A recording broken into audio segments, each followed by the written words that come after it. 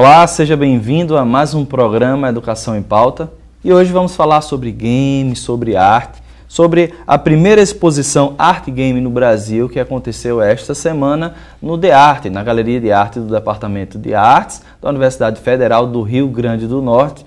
E para conversar comigo sobre esse tema, eu tenho aqui o curador da exposição, que é o professor Roger Tavares. Ele é professor de artes visuais do Departamento de Artes da Universidade Federal do Rio Grande do Norte. Está conosco para falar sobre esse tema. Professor, seja bem-vindo ao programa Educação em Pauta. Muito obrigado, obrigado pelo convite. É um prazer estar aqui com vocês. Interessante a gente conversar um pouco sobre a arte, a ciência e esse espaço que é o de arte, né, de disseminação uhum. de vários conhecimentos por, por, várias expressões artísticas, né, professor? Sim, com certeza. É, em sua formação, o senhor tem é, é, essas pesquisas bem voltadas para área do ser humano, dessa interação. Né? Uhum, uhum. O mestrado estudou sobre o ser numérico, uma busca de um mapeamento desses modelos humanos virtuais. Isso. No doutorado, videogames, uhum. não é? brinquedos do pós-humano. Já era a ideia do mestrado, mas foi difícil, não, não tinha muita entrada na academia para nessa época. Né? Ah, né? entendi. Então já era essa entrada dos games, já devia já ter vindo um pouco mais cedo. O último capítulo do mestrado é só sobre jogos, já sobre personagens de jogos, né? Poxa, é, que legal. A, a, academia é, ainda tem muito preconceito com, com isso. Hoje, bem menos, né? Mas ainda tem. Eu conheço vários casos de, de pessoas que têm projetos maravilhosos e, e quando chega na academia e o, e o orientador vê que é, é, sobre jogo, ele, ele não quer fazer, não se sente seguro, ele, alguns não acham isso importante. Uhum. é, porque tem uma escassez de, de, estudos sérios, digamos assim, nessa perspectiva, porque o game parece, é, ainda que seja um entretenimento por entretenimento, né, e, e uhum. às vezes a gente até como cientista, professor, é, tende a não aceitar é, é, essa condição, talvez primária, me corrija se eu estiver errado, do game, e aí por isso que às vezes a gente tem esse preconceito acadêmico, professor? É, é, a gente costuma brincar que joguinho é coisa séria, né? porque você tem é, joguinhos hoje, entre aspas, né? que eles, eles se proliferam, assim, eles vendem milhões e milhões de unidades, sabe? São, são formas de entretenimento, né? ou formas de arte, ou formas de mídia, que são é, utilizadas por uma quantidade muito grande de pessoas. Né? E, e, como tudo que o ser humano produz, ela acaba afetando a cultura. Né? Uhum. Então, a, as pessoas que jogam, elas, elas criam um, um ecossistema é, e isso acaba refletindo de uma certa maneira na sociedade. Né? Então, é, é, importante que a academia volte os olhos para isso, que os cientistas, que os pesquisadores entendam a, a importância disso, né? porque a gente chama de joguinho, porque é uma coisa gostosa para criança, prazerosa, né? aquela coisa de ser. Mas se você for ver a potencialidade disso em, em, em, em questões artísticas, sociais, culturais, isso é, isso é muito poderoso, né? E, é. na realidade, os games agora, no sentido mais estrito da palavra, o, o jogo do videogame, ele está tendo uma narrativa muito mais intensa do que antigamente, né? É, e olha que eu não sou tão velho assim, mas eu lembro dos meus primeiros jogos lá do Atari, do Super Nintendo, do Mega Drive, eram jogos que você entrava no ambiente do jogo e uhum. começava a jogar. Hoje tem narrativas, tem histórias, tem um enredo, né? Tem uma é. condição que talvez leve o, o, o game, ou a cultura do game, é um pouco mais, uma, uma experiência mais intensa ou estou equivocado nessa não, não, colocação? Perfeito. Você tem vários tipos de jogos hoje. Você uhum. tem esses jogos com narrativas complexas, com hum. fatos históricos, com né, complexidades, camadas de interação, né? E você tem jogos explodir bolinha também, que são jogos fantásticos, uhum. né? Às vezes você está querendo esvaziar a cabeça, você pega nesses jogos explodir bolinhas, é sensacional. né? Das frutas, né? Das frutas e docinhos, é, né? Outras vezes você, é, você você quer um jogo com substância, né? Uhum. Você quer chegar em casa e, e, participar de um, de um universo mítico, fantástico, realista, né? E aí você tem a possibilidade de, de, de, pertencer a esse universo. Você não é mais um espectador como uma novela, né? Uhum. Você toma decisões, a narrativa é guiada pelas suas ações, né? Então, é, eles... É, tem jogos hoje que eles criam esse, esse universo pro, pro jogador. Hum. O jogo é feito pro jogador, assim, poder participar hum. dessas narrativas, né? E, e claro, né, são jogos fantásticos, assim, tem para todos os gostos, né? Tem gente que gosta de Idade Média, tem gente que gosta de futurismo, é, steampunk, é, dieselpunk, e jogos antigos. Né, Dentro desses jogos humanas. onde eu, é, o jogador ele tem uma experiência talvez mais criativa, ou, ou quem sabe até poética dentro dessa, Sim, dessa característica. Né? E, e, e para isso eu vou citar um jogo que às vezes o pessoal até tem um certo uhum. preconceito, que é o Second Life. Se é que ele é um jogo, né? Tem gente que termina.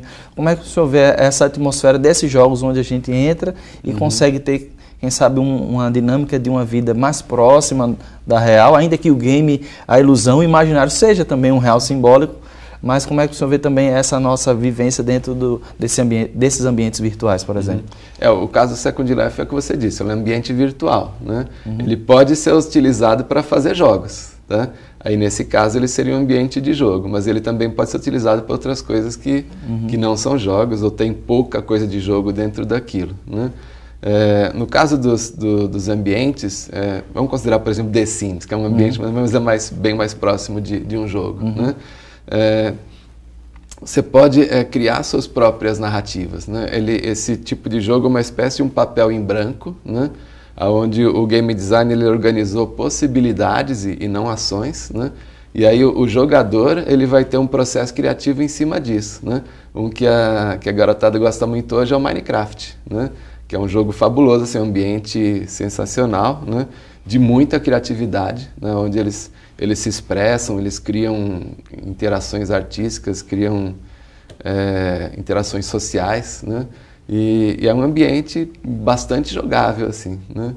É, então, são importantes esse tipo de ambiente porque eles permitem o jogador se expressar, né? É diferente do, de, um, de um jogo que o game designer ele, ele meio que projeta tudo, né? E, e você tem e a, só aquele você, labirinto fechado. É, pode até ser aberto, mas você tem é, coisas que você não pode fazer, coisas que você pode fazer mais, coisas que você pode fazer menos, né? Mas você já tem uma espécie de uma orientação, né? E, e, alguns jogos são muito mais abertos, né? como Minecraft e tal, que você tem menos orientação, ele dá, ele permite muito mais criatividade nisso, né?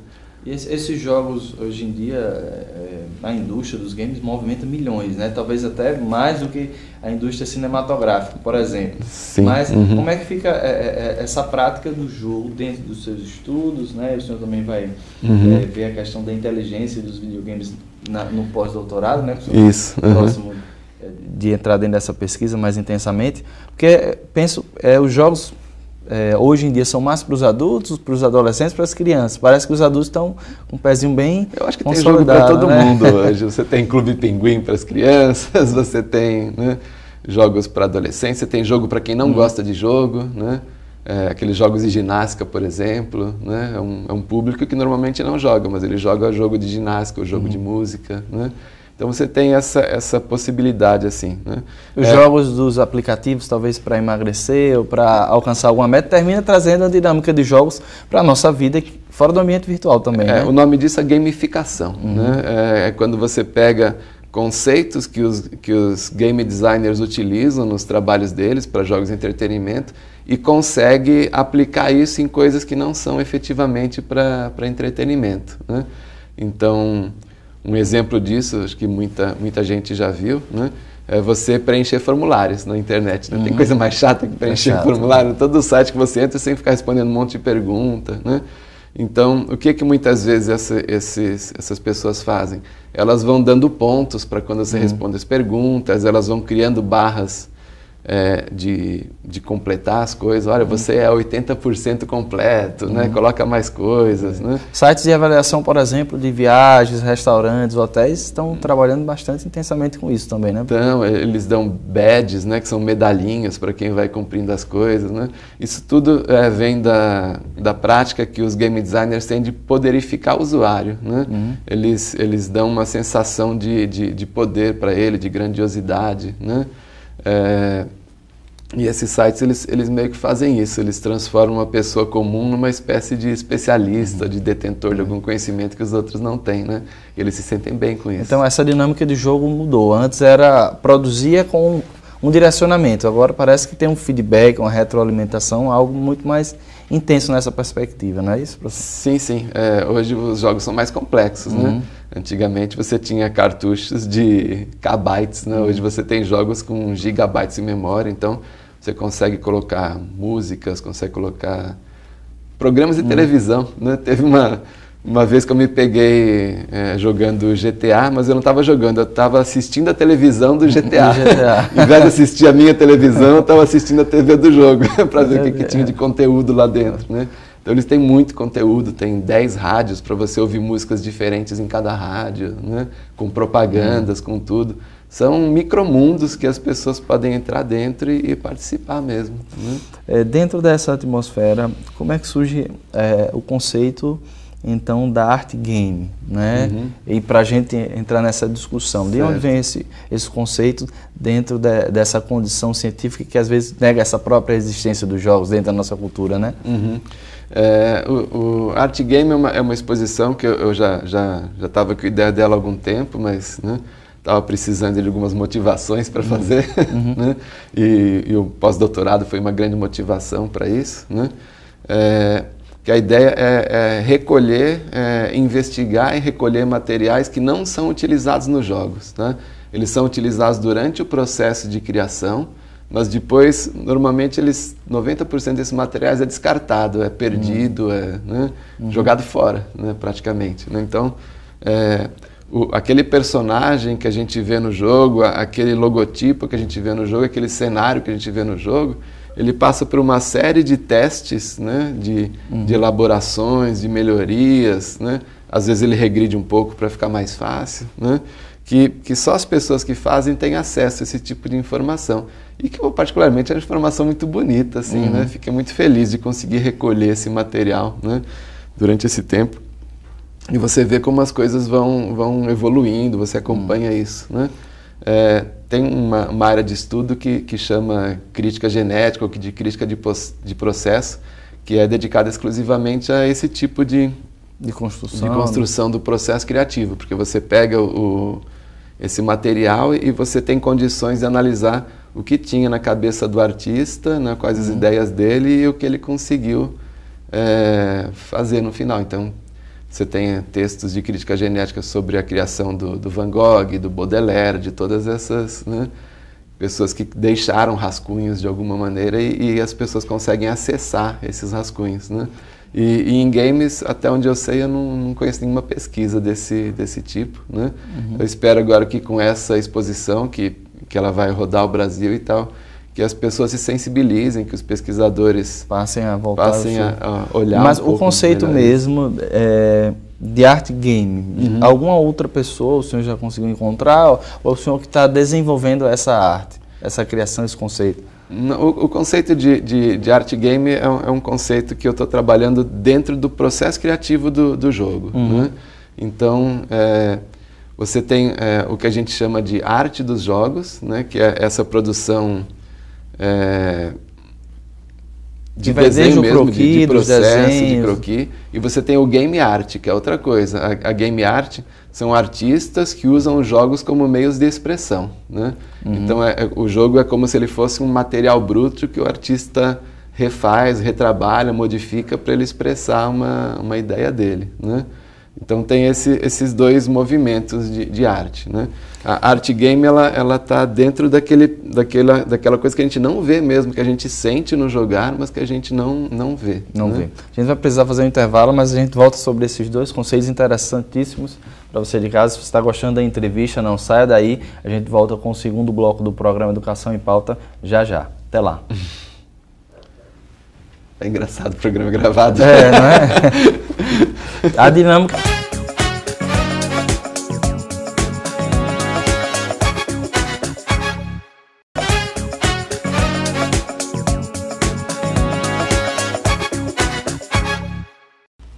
Voltamos no intervalo com o segundo bloco do programa Educação em Pauta. A gente continua a conversar sobre arte game, game art, não é, professor?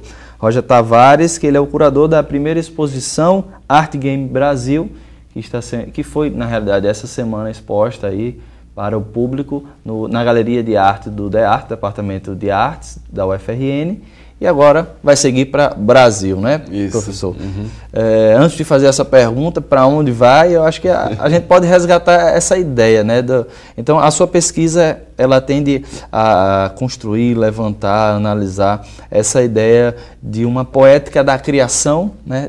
Seria, veja se eu, se eu conseguir entender, Sim. seria uhum. a arte game e o game art é quando o artista ele passa a se expressar por meio do game, é isso? Exato. Né? Ele... E aí como é que a gente consegue então entender um pouco mais dessa trajetória uhum. desse artista que constrói o cenário, que constrói o personagem, que desenha esses rabiscos e o que mais vai estar dentro dessa construção uh, dessa poética da da arte através dos games, digamos assim. Uhum. Bom, é, esse percurso é muito interessante, é isso que, é, que, eu, que eu pretendo levar para o público, né? deles verem como a ideia sai da cabeça da, da pessoa. Né? Então, na, na, exposição, por exemplo, ele vai ver rabiscos lá mesmo, com coisas escritas, indicando como ele estava pensando aquilo. Né? Então, para tem um jogo, por exemplo, que a gente conseguiu fotografar as agendas, folhas de caderno, tudo que tinha aquelas ideias iniciais do jogo. Né? Tem, tem um painel de exposição que ele mostra o desenho de um cenário com, com flechas ainda escrevendo armário gigante cheio hum. de brinquedos. Essa né? é a imagem que a gente tem, né? Essa é uma delas. Tá, exato. então a gente vai colocar uhum. para você em casa, falar um pouquinho dessa imagem. Professor, pode continuar falando, sim, sim. né? Uhum. Ela tem, é uma imagem e, tem e... o rabisco, esse é o primeiro rabisco, é armário uhum. gigante. Pode dizer, professor. E, e, você vê uh, embaixo como ficou isso no, no, jogo pronto. Né? Você vê que o armário não ficou tão gigante assim. Né? Uhum. Durante o processo ele tomou alguma decisão para reduzir esse armário. Né? É, beliche. beliche. Não, beliche tinha os brinquedos pequenos na, no primeiro esboço. No jogo que você joga, os brinquedos são grandes, que estão em cima do beliche. Né? Então é, é, é, é esse material que a gente não, não conhece que, que eu quis mostrar para as pessoas para ver todo esse. Ah, tem um material que eu adoro, que ele tem mancha de café em cima. tem o registro da produção, né? Tem o registro de produção. Das horas de produção. É um registro vivo, sabe? De você, uhum. né? É, você olhar aquela mancha de café, você cria um monte de narrativas na sua cabeça. O que será? Será que ele estava trabalhando com o café do lado? Será que está fazendo isso de madrugada? Uhum. Será que alguém derrubou o café? Né? Uhum. Será que aquilo é intencional para dar uma cor na, na, na folha? Na, folha, né?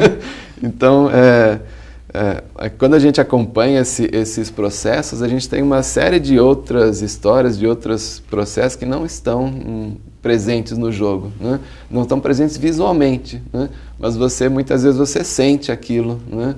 É por isso que o subtítulo da exposição é o visível e o sensível, né? Uhum. Porque tem, tem algumas coisas que você vê, né? Mas tem umas que você não vê, mas de certo modo elas estão lá presentes você, e elas fazem parte dessa experiência, né? Uhum. É, tem um, um, painel, por exemplo, que mostra 15 interações que foram necessárias para chegar num logotipo final, né? Como então, o logotipo do, do primeiro jogo começa, o... e está tudo registrado lá, todos os processos, né?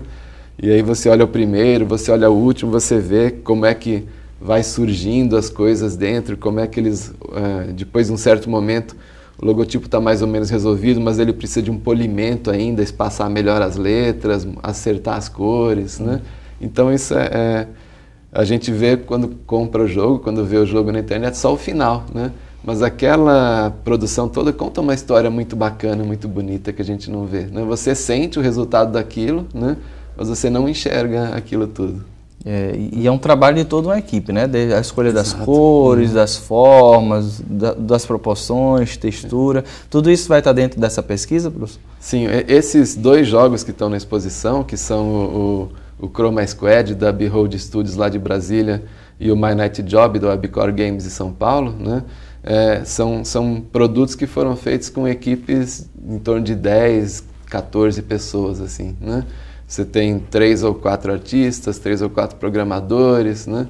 Mas só isso não faz o jogo, né? Uhum. Você tem o, o, game designer, tem a pessoa que vende, a pessoa que produz, né? que, que fica cobrando quem já acabou, quem está atrasado, uhum. né? Porque você tem prazo para fazer os jogos, né? Não é aquela coisa romântica que uma pessoa faz tudo, que ela faz no tempo livre, uhum. né? Aí demora 10 anos para fazer o jogo. Não, eles têm, tem um eles têm verba, restrito, eles né? têm prazo, eles têm, né? Exatamente, eles têm que cumprir esses prazos e esses jogos são colocados na, em sistemas de, de vendas mundiais assim para todo mundo poder jogar. Então o jogo ele tem que ter a linguagem do próprio jogo, que um brasileiro consiga jogar, mas que um, um americano consiga jogar, que um japonês consiga jogar, que um árabe consiga jogar, né? E a história tem que ser contada através do próprio jogo. O senhor já citou o tema da exposição, né? Que aconteceu essa semana, até ontem, né? Uhum. É, exposição Art Game Brasil, o tema o visível e o sensível no jogo digital. Conta pra gente como é que foi um pouco dessa semana, né? Que foi exposto do dia 1 ao dia 10 de junho na uhum. Galeria de Arte do De Arte, né? Uhum. Como é que foi essa exposição, a recepção dos alunos ou professores? Uhum. Teve muita gente de fora, né? Teve a, a, a mídia recebeu bem a nossa exposição, uhum. fico muito feliz, né? É, foi bastante divulgada é, e, e, foi interessante que os, os, alunos gostaram, assim, muitos deles tiveram essa noção pela primeira vez, né? embora é, eu tenha disciplinas sobre isso, não, não uhum. são disciplinas obrigatórias, não são todos os alunos que, que fazem, né? mas são optativas, vem gente de outros cursos fazer também. Né? E, e, essas pessoas que não conheciam é, agora começam a olhar a exposição com outros jogos. Né? Teve até uma, uma jornalista que foi lá e, e olhou aquilo tudo e falou: Nossa, agora eu consigo entender, enxergar jogos de uma maneira diferente. Uhum. Né? Teve um público bem jovem, né? É. É, crianças aí de 10 anos, 10 anos ainda criança hoje, é, pois é. é. tirando foto uhum. e, e, mostrando para os outros, né? Que foram com os amiguinhos, né? Teve gente de grupos de desenvolvedores, né? Que foram lá conhecer, porque mesmo para quem é desenvolvedor, ele, ele quer conhecer o processo do outro, né? Para comparar os processos, ver se eles são produtivos ou se eles são criativos, né? Porque e, e, foi bem interessante. O, o pessoal lá da, do departamento falou assim: Nossa, Roger, quanta gente de fora, assim, né? É, uma, é, um, é um tema assim que atrai as pessoas e, e é um, é dentro do de, do de arte, departamento de artes, tem, tem muito aquelas exposições autorais, sabe? Uhum. Artistas que fazem mesmo, o né? trabalho, né? é exatamente os próprios corredores, né? são alunos ou artistas que fazem os trabalhos deles né, e expõem aquilo como uma coisa autoral. Né. Essa exposição ela é documental, né, então dentro de arte também ela, ela tem uma proposta um pouco diferente, né, porque agora depois de todos esses anos é que a gente conseguiu começar a organizar a nossa galeria. Né, então é, a partir desse ano a galeria tem uma, uma programação de exposições que do, do, começo do ano até o final do ano, né, não vai ficar, vai ficar poucos dias vazias assim, que são os dias de montagem, desmontagem, né? Então é uma galeria que é aberta à comunidade, todo mundo que, que quiser ir lá, estiver passando perto de arte ou quiser se deslocar até lá, pode passar lá dentro que sempre vai ter uma exposição, né, para diferente para as pessoas acompanharem, né? É, é uma dinâmica de uma certa audiência, né? no sentido de você estar tá assistindo, você está vendo, você está experimentando. Né? Uhum. Não só essas imagens da exposição, mas e a pergunta que eu faço, é, esse seu trabalho ele tende a, a, discutir uma questão da formação do, do leitor dos jogos, Exato. digamos assim, uhum. porque aí quando, como você, o senhor citou essa questão da própria jornalista, ou seja, há uma a necessidade de pensar em uma formação de um novo leitor de jogos uhum. e por uhum. aí você vai passar a entender os jogos com uma condição mais artística do que puramente um design ou uma é. dinâmica pura, só de jogos do Fábio. É. Vai retornar ao lúdico, mas vai retornar ao poético. É, tem muito esse, esse, esse debate hoje de se o jogo é arte ou não. É. Né? Eu, como já tenho bastante idade, já, de, já passei por várias discussões. Eu já participei da discussão se fotografia era arte ou não, se vídeo era arte ou não, se animação era arte ou não. Né? Agora está na dos jogos. Né? É, assim, eu não tenho nenhuma dúvida que o, que o jogo é arte, né? Uhum. mas tem muita gente que tem. Né? Então, uhum. é, eu acho legal que quando as pessoas é, enxergam esse processo, elas começam a olhar o jogo de outra de forma. Outra forma né? E é importante para as pessoas saberem a, a a linha de aquilo que a gente enxerga no jogo é em torno de 20% assim do processo todo, né? uhum. Você não enxerga o código, você não enxerga as ideias, você não enxerga uhum. a mancha de café. É. né? Isso começa desde criança, né? Porque a mãe imagina, a mãe compra o game para a criança, mas poxa, essa, essa é a sua parte do lazer, essa é a sua parte aqui da escola. Uhum. Tem, tem que fazer o dever para de, depois ir para o lazer. Mas talvez ela não consiga enxergar que nos jogos existe é, acionamentos, motores imagéticos, uhum. né? E criativos que podem, e estão nessa área artística, acionar, Sim. quem sabe, uma, uma propensão para um artista dos games ou de outras expressões. É, né? Não só arte, mas é, é, tem, tem jogos que, que tem muitas possibilidades cognitivas naquilo. Uhum. Né? Tem jogos que fazem é, você melhorar a sua memória, a sua sua cuidade visual, seu senso de resposta, suas tomadas de decisão. Né? Uhum. Então, tudo isso é, é, é um, faz parte de, um, de, uma espécie de educação não formal. Né? Uhum. A educação da escola é uma, escola. mas tem, a educação está em todo lugar. Ela está dentro do, do, mundo. O mundo é um processo educativo. Né? Então, uhum. Então você tem pessoas que têm uma, uma, ótima educação formal, assim, por exemplo, dentro da escola, mas na hora de tomar decisões, ele toma decisões erradas. Né? Ou então não consegue tomar decisões, né? Não consegue, fica, fica em dúvida sobre o que vai fazer. E, e os jogos, como eles trabalham muito essa, essa questão do perceptivo, da da cognição, da, da memória, da, do foco, que é uma coisa importante hoje, né? né? Um, um, pai reclamando para mim que o filho dele era hiperativo. Eu falei assim: ah, se eu tivesse 200 canais de televisão, é. mais internet, eu seria hiperativo, hiperativo também. É, é, a formação da nova criança, né? É, exato. E, e, ela fica meio perdida, ela não, é. não tem um processo de edição ainda, né, de, uhum. de, de, foco. Né? Então é, é, o jogo ele traz isso da pessoa conseguir se concentrar, sabe, ter foco durante algumas uhum. horas. Né? Que é uma coisa Respeitar que... o, os estágios, né? Um, todo... É, quando, quando a criança começa a ser educada, por exemplo, a educação da infantil é basicamente com jogos, né? Uhum. Jogo de tabuleiro, jogo de, de quadra, né? É. E depois, com o tempo, isso é cortado da educação dela, né? Agora acabou a brincadeira, agora o negócio é sério, Nossa, né? sério. Mas é através do jogo de tabuleiro que ela aprende a respeitar o outro, esperar uhum. a vez, entender o que é uma regra, o que é uma obrigatoriedade, né? Uhum. É, participar de, da diversão não só dela, mas compartilhar aquilo com outras pessoas. Né? Então, o jogo de tabuleiro que a criança joga bem cedo, ele, ele é muito educativo. Uhum. Né? Ok, professor, a gente já está terminando. É, gostaria de parabenizar a, a essa construção da arte, do lúdico e do, da ciência também, né? Porque a ciência é, é, muitas vezes dogmática, ideológica e termina deixando a própria arte de lado. Imagine os jogos, que aí talvez tenha tá, tá ainda entrando na, nessa narrativa científica. E eu queria hum. que o senhor pudesse deixar para o público o convite aí, obviamente que vai para outras cidades do nosso país, Sim. mas se tem algum hum. endereço por onde eles possam acompanhar é, na internet também essas exposições. Uhum. Sim, é, a gente tem uma, uma página no Facebook, numa uma fanpage lá chamada Art Game Brasil, tá? que a gente vai é, disponibilizar é, todo o roteiro da. Agora provavelmente ela deve estar indo para o interior de São Paulo, né? Já tem outras pessoas inscritas aí na fila, né? O pessoal de Brasília está uhum. querendo receber a exposição, o pessoal de Salvador já conversou comigo, né? Então é, é, só uma questão de logística agora, de, de achar um espaço para a exposição. Né? É, é, uma exposição que, que eu já montei com um sistema fácil de empacotar e uhum, embalar. Ela vai com um manual de instruções uhum. tá? para a pessoa montar. Convido as pessoas que estão assistindo, se alguém quiser receber a exposição, entre em contato comigo através da fanpage que a gente acha um lugar na fila para receber a exposição. São 16 painéis, tá? uhum. então dá para expor em, em em corredor, em galeria, né? em sescs, aonde você conseguir. Né? É, não custa nada, tá? só vai custar o, o, transporte mesmo e de lá a pessoa recebe, faz a exposição, me devolve e eu mando para outro lugar. Né? Ok, professor Roger, muito obrigado. Eu que agradeço, fico feliz por ter vindo e dou os parabéns ele, para o programa de vocês e pela, e pela importância que vocês têm na educação. Muito obrigado. Muito obrigado. Obrigado também pela sua audiência. A gente se vê na próxima semana com mais um programa Educação em Pauta. Até lá. Tchau, tchau.